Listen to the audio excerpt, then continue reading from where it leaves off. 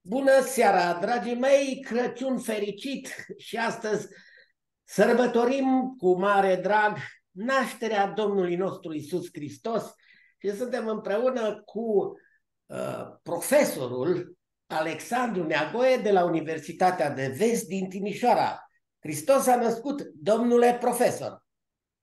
Adevărat, adevărat că s-a născut. Vreau ca să am o, o serie de emisiuni mai speciale de acest Crăciun. Mi-am permis să invit uh, mai mulți clerici de la Biserica Ortodoxă, de la Biserica Evanghelică, de la neoprotestanți, să abordăm un subiect, zic eu, interesant, uh, să vedem într-o viziune ne, uh, să zicem așa, sub o formă de predică, ci o formă de, de dialog, plecând însă de la ceea ce Biblioteca lui Dumnezeu le relatează cu privire la știință și conducere. Și o să ne oprim câteva minute asupra textului din Matei, unde ni se povestește, ni se relatează cum niște oameni interesați de cultură, de știință, de cercetare, au aflat înaintea unor dregători regi, președinți de stat, de ce să nu-i numim și chiar așa, uh, că în zona lor de activitate se întâmplă minuni. Vorbim despre magi uh, și care se duc la Ierusalim și se duc direct la Irod, regele Irod, și îl întreabă direct împăratul de curând născut al iudeilor, unde o fi? Fiindcă am văzut steaua răsărit și am venit să ne închinăm lui. Oare de ce există atâta de ignoranță în ceea ce privește interesul față de națiune, față de omenire, mai ales că avem atât de important personaj cum e Irod, care știm foarte bine că avea un potențial extraordinar, avea probabil dar sunt convins că orice șef de stat, poliție, securitate, pretorieni, mai ales că avea și relații de clerici, cu clericii, și totuși n-au știut nimic. Oare nu o fi un soi de îngânfare, de nepăsare, de ignoranță?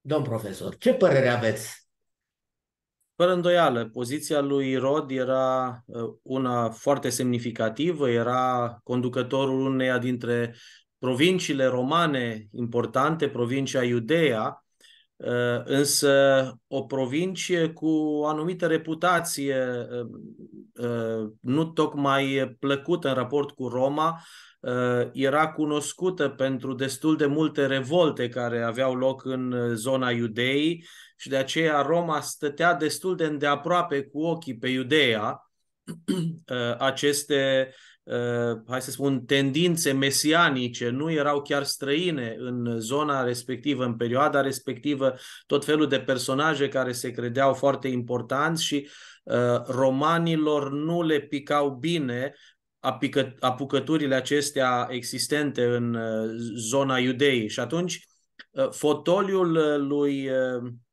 Irod, într-un fel, era uh, ținut sub supraveghere foarte îndeaproape de către um, puterea de la Roma și uh, în momentul în care Irod aude că se discută despre un alt împărat care s-ar fi născut, temerile lui par să se materializeze. Iată că ceea ce se temea pare să se întâmple Uh, cineva care îi amenință fotoliul. Deci uh, ce putem uh, observa încă de la început este faptul acesta că, din păcate, um, atunci când interesele personale sunt puse mai presus decât interesele națiunii, atunci se întâmplă nenorociri și oameni care ar trebui să fie aducători de bine în națiune fac mai mult rău. Acesta este desigur cazul lui Irod.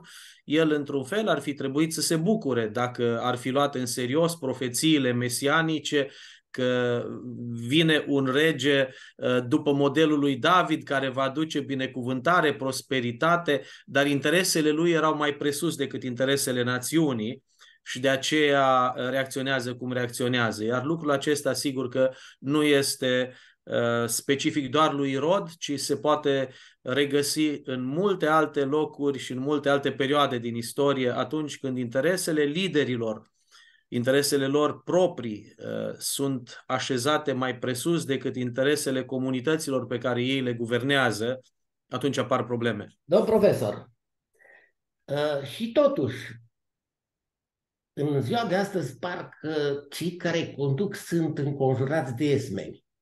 Nu vi se pare? Uh, de obicei le place să fie înconjurați de yes-men. Um, da, și sunt. Sunt pentru că de obicei și aleg pe cei care Uh, le cântă în strună un pic mai mult uh, așa, sau uh, dau mâna cu alții doar atunci când nu au încotro și au anumite interese comune. Deci așa este, așa este. Tocmai de aceea, iată și Rod în momentul în care vine cineva și prezintă un alt adevăr decât cel pe care el vrea să-l îmbrățișeze, nu se simte confortabil. E puțin șocat, nu? Își convoacă acolo toți cercetătorii, dar oare, oare nu sunt plătiți prea degeaba? Că dacă se întâmplă la câțiva kilometri de Ierusalim, am fost până acolo să văd și eu, că eram curios, și de la o așa mică distanță, ce fel de securitate națională avea el? Ce fel de... Bun, el, el ce face aici face foarte bine până la un punct. Faptul că se consultă cu... Uh, când se consultă? Cei, când cei s-a cunosc... înfăptuit? Poftim? Când se consultă? Când s-a înfăptuit? Nu, nu, se, se consultă în momentul în care aude de la magi despre Aici, nașterea unui împărat. Cum să nu auzi tu înainte, când ai atâtea gărzi pretoriene, când ai atâtea iscoade, sau Bun, uh, în privința aceasta, hai să spunem că... pe lângă noi. Uh, în privința aceasta, hai să spunem, dacă e o vină a necunoașterii, nu este în primul rând a lui Rod, ci este a Uh, învățaților legii, uh, cei care sunt pregătiți imediat să-i dea răspunsuri, să-i spună unde trebuie să se nască Mesia, în Betleemul lui Iuda. Deci ei cunoșteau scripturile, aceștia aveau primii responsabilitatea uh, morală să cunoască cele privitoare la nașterea lui Mesia.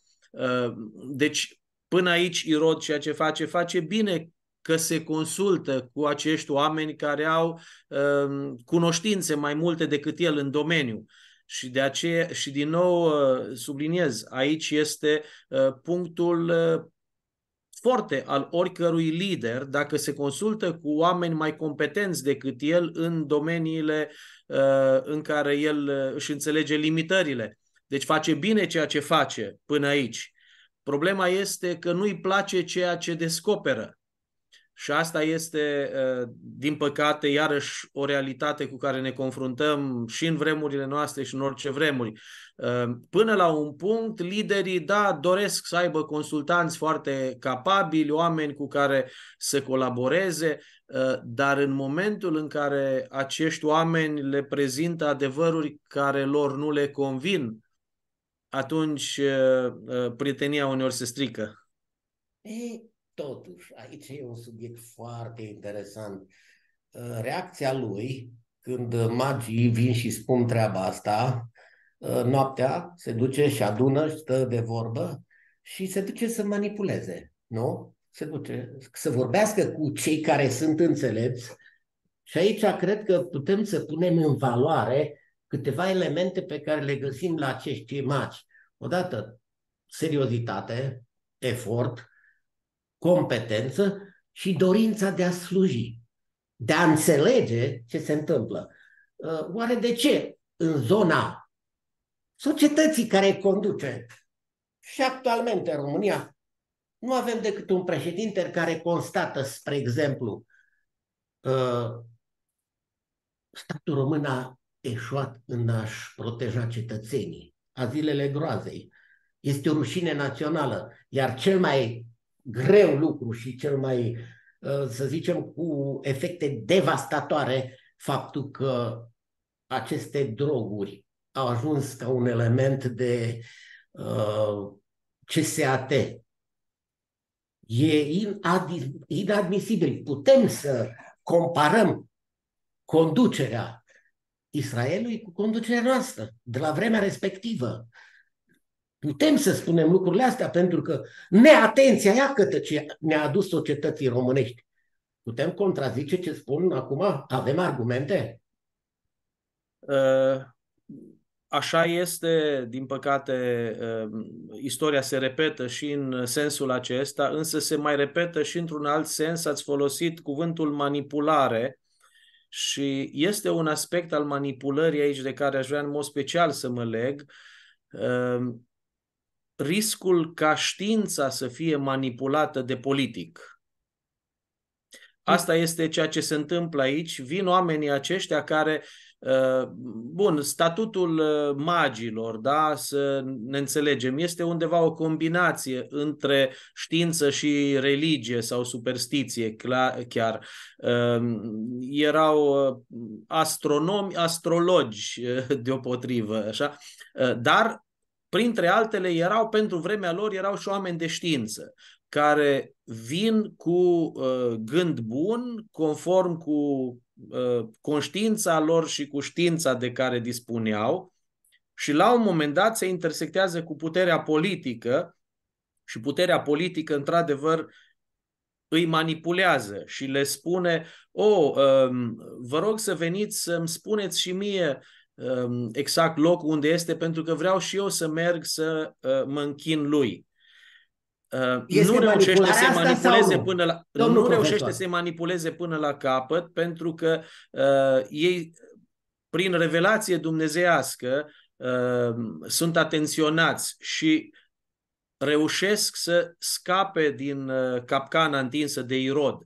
Dar este clar semnalat aici acest risc ca știința să fie manipulată de puterea politică. Și este unul dintre lucrurile foarte dureroase și în vremea noastră, uh, că de foarte multe ori uh, oamenii care ar putea face o diferență pozitivă prin cunoștințele lor științifice um, publică și își aliniază publicațiile și uh, realizările științifice în funcție de puterea politică, de cine dă banul, de cine oferă avantajele cele mai mari. Ceea ce e un dezastru. Ceea ce este foarte trist am pentru știință. Discutat, am discutat în mai multe emisiuni despre etica politică. Cel mai grav lucru pe care îl pune în evidență etica politică este faptul că clasa noastră politică urmărește să transform, transforme minciuna în adevăr pentru a înfăptui binele public. Își asumă chiar paternalismul pentru acest lucru. Care este opinia dumneavoastră despre acest subiect? Uh, îl simțim pregnant în ultima perioadă în societatea românească? Uh, simțim și în societatea contemporană și, după cum făceați referire, este uh, un lucru care nu este specific doar vremurilor noastre, dar puterea politică, fără îndoială, urmărește interesele ei și um, se folosește de cine poate, se folosește de cei care sunt uh, ușor de uh, manipulat, nu cred de că convins. numai puterea politică, pentru că știm foarte bine, clasa politică, dacă facem distinție, uh, știm că avem putere și opoziție. Ia câtă că opoziția vine și face gargară politică. Iertați-mi expresia, dar cred că e foarte bine, pentru că suste, uh, afirmațiile lor nu se susțin. Și aici e cel mai apropiat de acest adevăr. Traversăm într-adevăr uh, probleme mari în societatea românească și nu numai. Nu numai. Da. Bun, faptul că există o opoziție pe scena politică e foarte bine și, Doamne ferește, de o societate în care avem o singură linie Știm politică. cum a fost. Poftim? Știm cum a fost. Știm cum a fost și n-a fost foarte bine.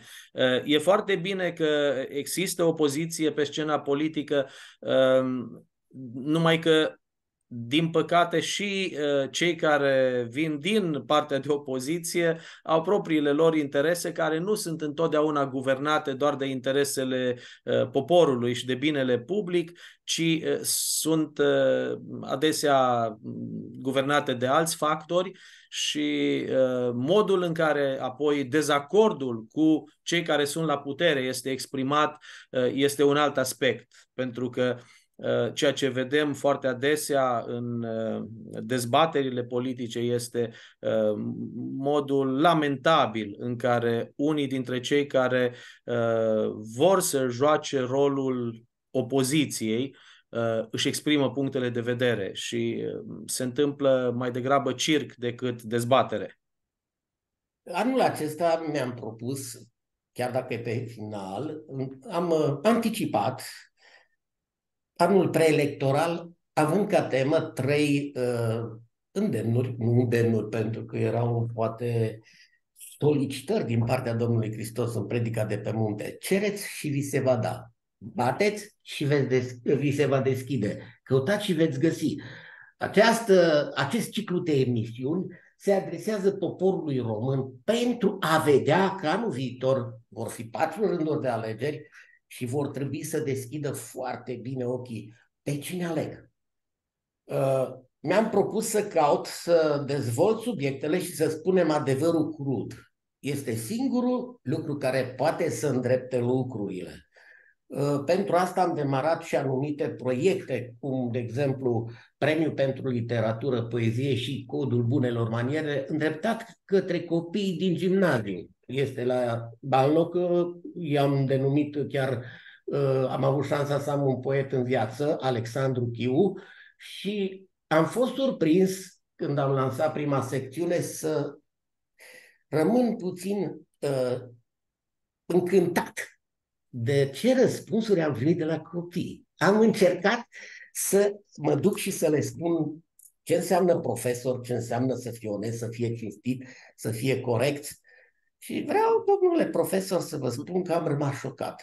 Pentru că uh, am avut alături de mine și pe Viorel Târziu, cu o cunoștință comună, care le-a povestit despre David și Goliat. Iar la final, câteva minți luminate dintre copii au spus, ați venit să ne încurajați și să ne dați o speranță. Și au spus, da, uh, ce părere aveți? Este important să înțelegem că ecuația lui Dumnezeu pe care am zis eu, 33 plus 7 ani de acasă poate fi pusă în aplicare la nivelul copiilor, că este singura speranță să investim în copiii României, plecând de la educație, fundamentând toate pe morala creștină? Ce părere aveți? Uh, da, fără îndoială și chiar mă bucur că uh, ați mutat un pic reflectorul de pe cei care sunt acum la putere pe alte uh, Ei sunt ruginiți, nu mai trebuie, că nu se știe dacă avem șpirghel bun. Da, e foarte ușor să ne uităm la cei care sunt la putere și să zicem, vai ce lucruri urâte fac. Problema este că cei care nu sunt așa de sus nu înseamnă că sunt mai buni decât ei, doar faptul, doar nu sunt deocamdată în pozițiile în care să aibă pârghiile cu care operează cei de sus. De asemenea, eu vreau să mă feresc de generalizări. Sunt oameni și la putere care uh, chiar se străduiesc să facă ceea ce este bine, tot respectul Dumnezeu să-i binecuvânteze, să le dea putere, resurse, să facă diferențe în bine. Deci nu vreau să generalizăm, dar dacă ne referim la segmentul celor care dezamăgesc și fac ce nu trebuie, Uh, sunt uh, mulți alții care ar face la fel, probabil, sau poate chiar mai rău, doar că nu dispun de pârghiile de putere uh, ale celor care sunt acum unde sunt. Și de aceea, provocarea aceasta este, haideți să ne întrebăm cum gestionăm noi puterea, influența, resursele de care dispunem și cum sprijinim generația mai tânără decât noi să învețe să folosească corect atât resursele uh, putere, de, de putere sau manageriale, precum și resursele științifice. Pentru că uh, mereu acum vorbim de cei doi piloni, pilonul Irod, și, adică putere, și pilonul Magi, cel uh, legat de, de știință. Pentru că, de fapt, a fost Așa, o generozitate da. prezent acolo. Întrebarea este, deci, în primul rând, pentru noi, cei care prin ceea ce suntem, suntem modele pentru generația mai tânără decât noi.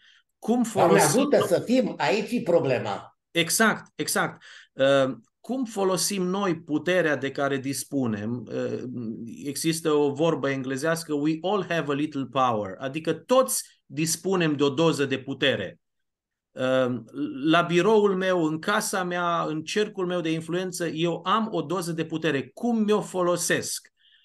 Cum constată uh, copiii mei, uh, elevii, studenții cu care interacționez că eu fac uz de autoritatea pe care o am. Pentru că eu transmit ceva prin asta. De asemenea, ce văd elevii mei, studenții mei, uh, copiii mei, că fac eu cu cunoștințele pe care le am. Deci puterea mea și cunoștințele mele, cum le folosesc. Pentru că eu uh, croiesc cărări pentru generația mai tânără, în primul rând prin ceea ce sunt și în al doilea rând prin ceea ce fac. Uh, școlile, instituțiile de învățământ trebuie să fie spații pentru formare, nu doar pentru informare. Uh, Aici avem o mare problemă, domnul profesor. Și, uh, 45% prea, Da, prea adesea educația este centrată doar pe informare. Uh, cred că educația, cel puțin în sensul în care o observăm la Mântuitorul, el a format ucenici, nu studenți, nu elevi. Uh, deci ucenicul este unul care preia și cunoștințe, dar preia și un anumit fel de a fi. Și întrebarea este ce fel de a fi transmit eu prin modul în care îmi folosesc autoritatea de care dispun, prin felul în care îmi folosesc uh, informațiile de care dispun.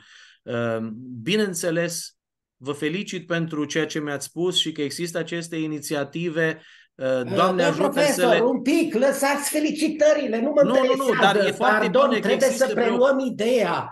Nu, și vă rog e foarte bine că există departe. preocuparea Problema de fond este următoarea. Nu mă interesează pe mine felicitări. Nu, sunt la vârstă nu. la care nu mai am nevoie de felicitări. Am nevoie de multiplicatori. Da, tocmai asta vreau să spun. Ă, noi multiplicăm prin ceea ce suntem, în primul rând, și în al doilea rând, prin ceea ce facem. Și ă, în interacțiunea cu oamenii care sunt mai tineri decât noi sau poate sunt poziționați social uh, alt, un pic altfel deocamdată, uh, că foarte adesea studentul de azi e șeful de mâine, așa, și de-aia ai grijă cum te comporți cu el. E o da? E Poftim? Nu cred că trebuie să avem grijă că va fi șef. Trebuie să avem grijă că este om. Păi da, da, da, numai că... Uh, și dacă va fi șef, n-are voie să fie abuzator.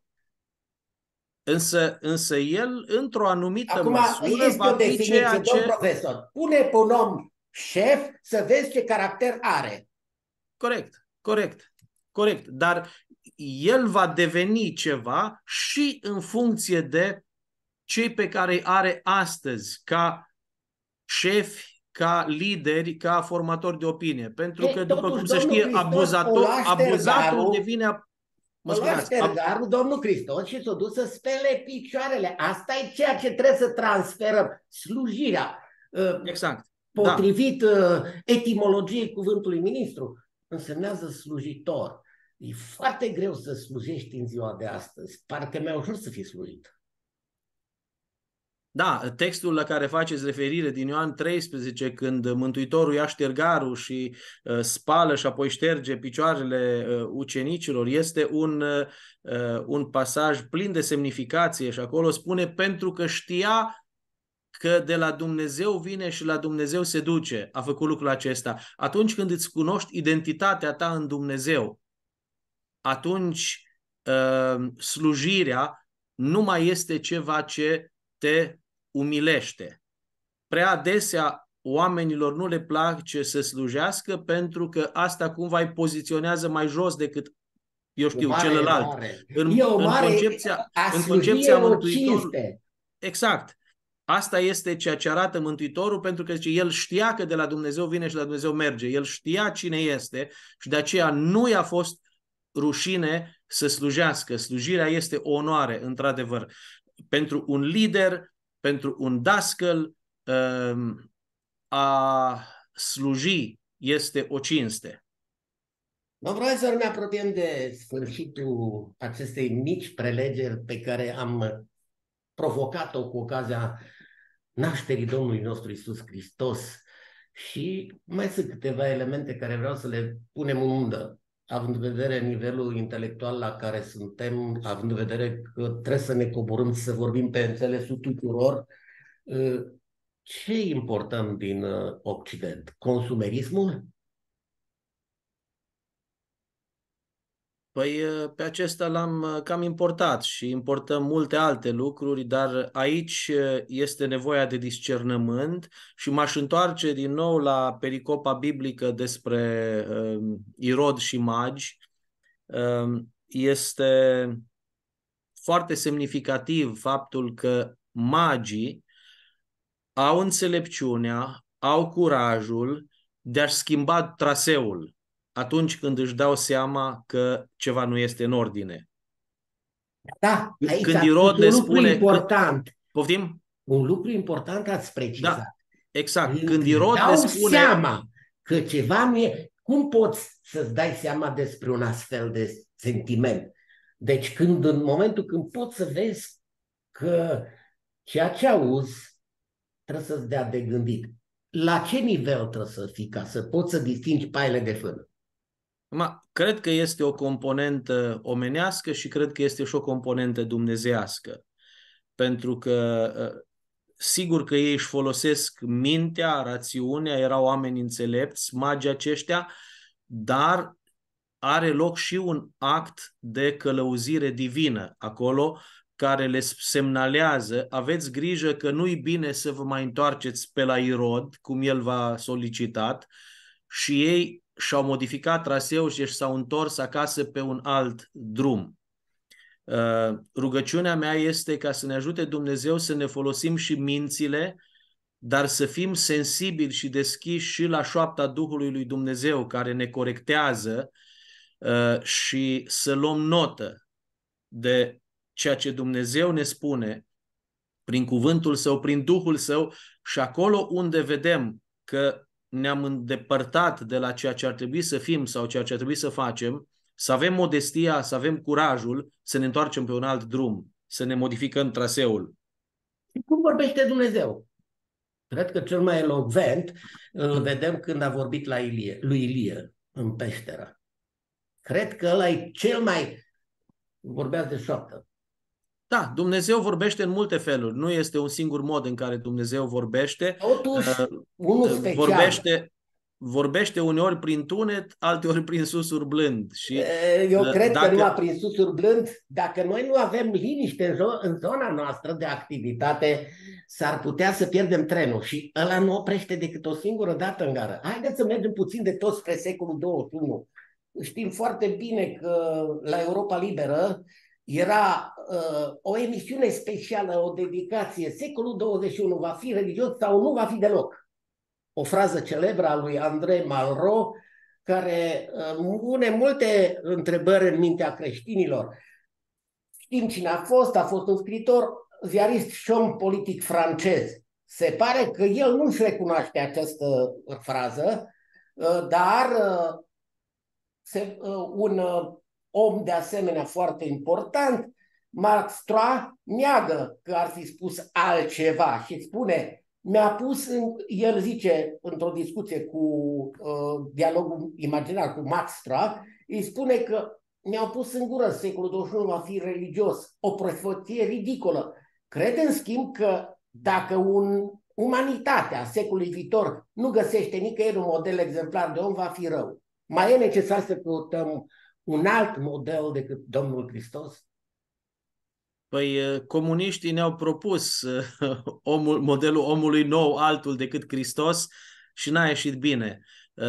Sigur că noi, cel puțin în calitatea noastră de creștini, credem și afirmăm cu toată convingerea că Isus Hristos reprezintă cu adevărat modelul suprem de ceea ce noi oamenii ar trebui să fim. El este noul Adam, Uh, care vine ca alternativă la vechiul Adam, cel uh, care uh, știm că a călcat strâmb și um, a suferit consecințele și ne-a transmis și nouă consecințele, Hristos nu întâmplător vine și este ispitit, la fel ca și vechiul Adam în Eden, cam în aceleași feluri, dar acolo unde primul Adam a căzut, noul Adam, Hristos, iese biruitor și deschide calea biruinței pentru toți cei care sunt în el.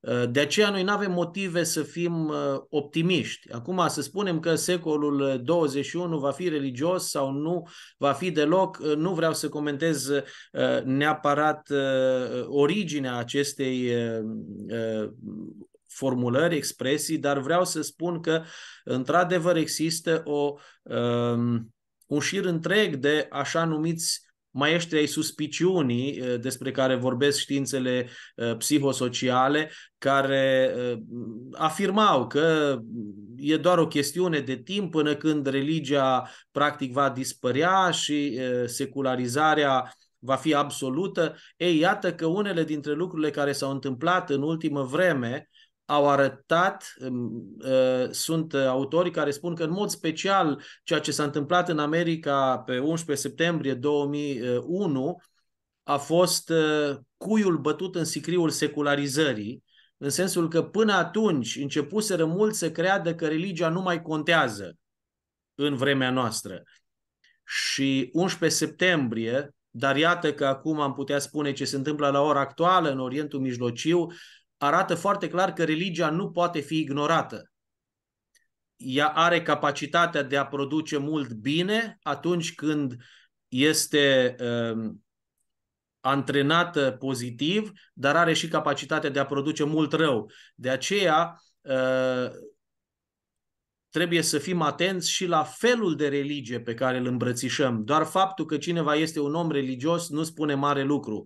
Contează ce religie îmbrățișăm, suntem în pragul sărbătorilor um, nașterii Domnului Isus Hristos și mulțumim lui Dumnezeu că ne dă ocazia de a vedea un model de religie, de relegare a omului cu Dumnezeu prin Isus Hristos, prin întrupare, însemnând capacitatea de uh, a veni înspre cei care au nevoie de noi, așa cum Hristos a venit înspre noi Um, a ne identifica cu grupurile celor care poate sunt mai puțin, știu eu, avantajați în viață decât noi, uh, prin Hristos avem șansa uh, unei religii care să facă o diferență pozitivă în uh, lumea noastră. Și Adevărata vreme... religie e definită simplu în Biblie, să căutăm pe văduvă și orfan în necazurile lor și să facem binele în așa fel încât să fim o binecuvântare Uh, oare de ce nu-L înțeleg pe Domnul Hristos, care a fost cel mai simplu om de pe pământ? Ne plac lucrurile complicate? Uh, ne plac lucrurile complicate, ne plac lucrurile firești, egoiste. Bineînțeles că motivul pentru care cei mai mulți îl resping pe Hristos nu sunt neapărat motive intelectuale, ci sunt motive care țin de ceea ce ne place. Sigur că uh, e mult mai ușor să-ți placă să conduci decât să slujești, să primești decât să dăruiești și de aceea modelul lui Hristos nu este neapărat foarte atractiv din punctul acesta de vedere. Deci oamenii îl resping nu pentru că nu este coerent, nu este bun, ci pentru că nu le place. Ei, spunea Dar sunt și cei care îl uh, îmbrățișează și hai să închem pe nota aceasta pozitivă. Da, da, imediat, imediat. Vine și încheierea, dar vreau să spun că mi-a plăcut uh, la lansarea proclamației din Banat, unde l-am invitat pe preotul Tofană să ne țin o prelegere despre Domnul Hristos, calea, adevărul și viața și spunea, e greu să mergi cu Hristos. Ia să vedem, domn profesor, e greu să mergi cu Hristos. După aia dau și eu răspunsul care l-am auzit.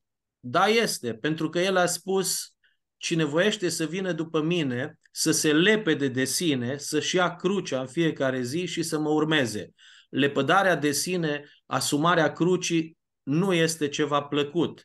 N-a fost ceva plăcut nici pentru el, fără îndoială. Patimile, răstignirea, moartea, nu a fost ceva plăcut, dar a fost ceva ce el a fost dispus să plătească uh,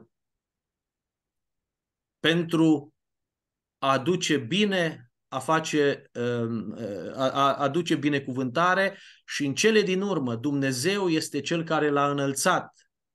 Așa ne spune cuvântul uh, Evangheliei, că Dumnezeu l-a înălțat și pe cel care se smerește, pe cel care își asumă crucea uh, lui Hristos, uh, Dumnezeu este cel care îl înalță la fel cum a făcut-o cu Hristos. Preotul Tofană spunea că e greu să mergi cu Hristos, că trebuie să iei un jug asupra ta. Da, Și da. jugul când îl pui la animale, uh, trebuie să te ordoneze, trebuie să-ți uh, dea direcții. Iată că am ajuns la finalul acestei emisiuni și v-aș ruga, cum fac de obicei, dau posibilitatea interlocutorilor care a, sunt împreună, dar acum sunt cu pastorul Alexandru Neagoe și profesor, evident că nu se pierde și v-aș îndemna să binecuvântați pe toți ce ne urmăresc cu ocazia zilei cele mai importante, putem spune, pentru această planetă, nașterea Domnului nostru Isus Hristos. Sigur că da. Vă invit să ne plecăm capetele și suflete într-un moment de rugăciune.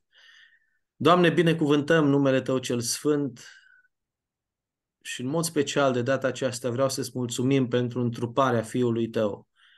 Mulțumim, Doamne, că El, cel de trei ori sfânt, a coborât în lumea noastră păcătoasă. El, cel care n-ar fi cunoscut niciodată suferința, a venit și și-a asumat limitările și suferințele noastre, așa încât să ne poată da o șansă uh, la o viață binecuvântată și la o veșnicie împreună cu El. Doamne, mă rog ca acest model al întrupării să-l așeze în inimile noastre ale cât mai multora. Doamne, fiecare dintre noi avem în jurul nostru oameni care au nevoie de speranță, de un cuvânt bun, de uh, sprijin, de resurse.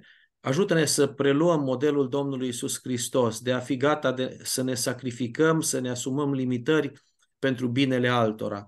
Și toată gloria pentru tot ceea ce suntem și pentru tot ceea ce facem, dorim să-ți revină ție, Tată, Fiu și Duh Sfânt. Mă rog pentru toți cei care urmăresc această emisiune. Tu, Doamne, cel care cunoști frământările, limitările fiecăruia, intervino Tu, Doamne, și dă răspuns după bunătatea Ta și spre lauda numelui Tău. Amin. Am fost în această zi măreață de sărbătoare a nașterii Domnului nostru Iisus Hristos cu profesorul, pastorul Alex Negoie. Și evident că nu putem să închem fără a merge la proclamația din Banat și să vedem cum am gândit noi resetarea, reașezarea societății românești în ansamblul ei pe bază de educație plecând de la morala creștină. Într-o lume secularizată, principala cale care oferă speranță națiunii române este însușirea pe scară largă a moralei creștine, care trebuie să fie promovată neconfesional, nedogmatic și neinstituționalizat. Milităm pentru promovarea respectului și a iubirii față de semeni. Considerăm că fi, ca fiind necesară cultivarea dialogului constructiv. Iată caz am promovat. A onestității, precum și a promovarea demnității. Societatea românească trebuie să se opună tendinței de marginalizare a credinței în Dumnezeu, care are consecințe devastatoare, minciună, corupție, ipocrizie, impostură, etc.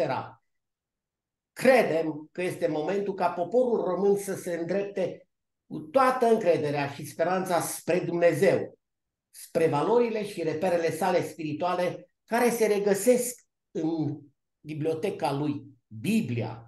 Și pe această cale facem apel la numeroși oameni de valoare pe care are această țară cărora le cerem să participe la reconstrucția morală a României. Și rog pe Bunul Dumnezeu să binecuvinteze România, pe toți românii, oriunde ar fi, orice ar face, n-are importanță ce etnie, cu multă înțelepciune, putere de muncă și să ne ferească Bunul Dumnezeu de război, să ne dea pace și Doamne putere de muncă să îngrijim și să construim grădina Maicii Domnului care este România. Sănătate și Domnul Hristos să vă fie călăuzitorul vieții voastre. Așa să ne ajute Dumnezeu, sărbători binecuvântate tuturor în continuare.